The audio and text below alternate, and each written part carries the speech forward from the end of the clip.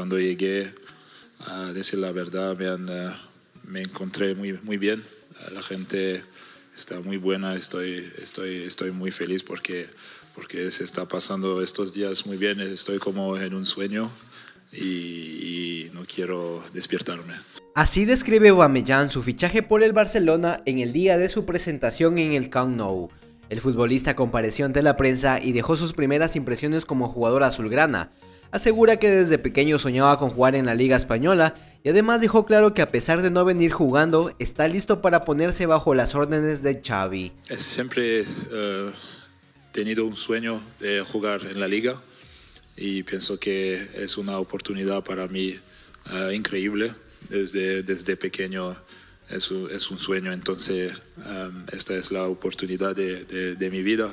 Uh, es verdad, hace, hace mucho que no, no, no, juego un partido, pero, pero en, mi, en mi cabeza está muy, está muy claro y ya estoy pronto para, para, para, jugar y ayudar porque sé que uh, vamos a, a volver al top poco a poco.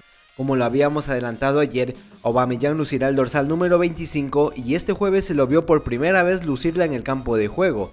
El gabonés salió hasta el césped, saludó a la grada y dejó unos toques de calidad que demuestran su gran talento con el balón.